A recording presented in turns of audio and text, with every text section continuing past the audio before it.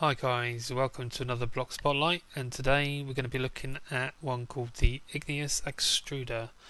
Now what this block will do, it will basically take the place of a cobble generator so it will play on the interactions between lava and water and we, we would have a lava tank on the left hand side and a water tank on the right hand side. Now depending on which of these uh, products you choose depends on how much of each you're going to get used up. Uh, it doesn't take any power at all, and if you look at the uh, interface, all we have is the redstone control tab and the configuration tab to decide where the orange output is going to go. Uh, we can pump in our are liquids on any of the sides.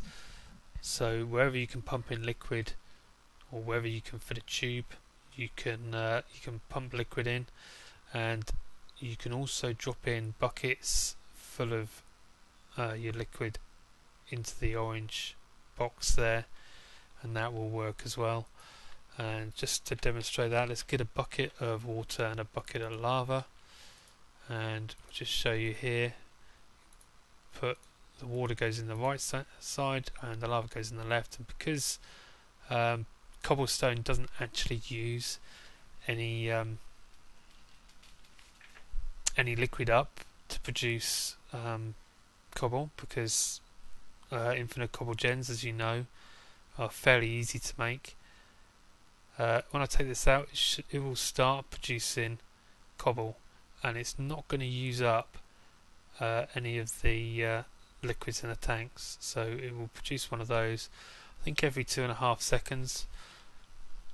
So that's what 50 ticks? Every 50 ticks it's going to produce a, cobblestone although it does feel like it's going a bit quicker than that.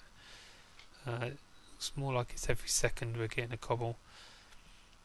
Now if we were to change it to stone or obsidian because these actually use up um, liquids we won't uh, be able to do this infinitely. This process will stop at some point. We'll need to keep pumping in lava and water in order to uh, to get that to work. Right the recipe for this guy is a piston on top of a machine chassis and because we're not using buildcraft power this machine is using a servo. And with glass on either side and there's our igneous extruder now, I have a, a little setup here just so that we've got um, an amount going in, and this is just producing cobblestone at the moment. Uh, I've got a magma crucible on the left side here, which is just producing a lot of lava for us, and a pipe which is not getting any power, or whatever. It's just automatically pumping that out, much like the pump does with the water, which I have set up over here which I'm sure you've all seen these little setups before. This one is new though. So we've got a little bit of uh, power stored up and that's just producing lava, keeping these tanks reasonably full. Now at the moment we're just producing cobble and I have the output set to the top. So in here we'll have a fair amount of cobble just churning away. None of these are being used up at the moment. So if I were to switch to stone, now stone would actually use up uh, some of the liquids and it's going to take a little bit longer to do. So as you can see there we lost some water to produce smooth stone and smooth stone is now set up there. We'll have to wait until uh, this here actually they don't look like they're attached anymore. Maybe I need to have there you go. We need to allow them in by turning these orange so obviously the orange is the input and the output in this case. So you can only input liquids where you've set as an input which is quite cool as well. So there we go. We're now producing stone but we are using up a certain amount of fluid in the process and if we switch that to obsidian, we will actually use up a bucket of water and a bucket of lava all in one go, and that as well will take a little bit longer. But we will have, uh, there we go.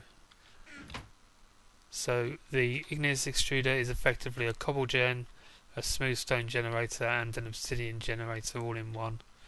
And assuming you've got a plentiful supply of lava and water, water's always fairly easy to get a good supply of, but it's the lava mainly.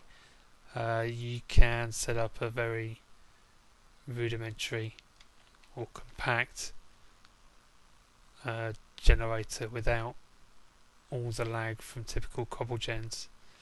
So these are, are, very much appear to be blocks that are really well suited for server play. Um, liking the look of them so far. I'm looking forward to getting a chance to play with them some more. Uh, let me know in the comments if I've missed anything out or I should have added something and be sure to hit me up on my Twitter page and check out my stream on Twitch. And I will see you next time.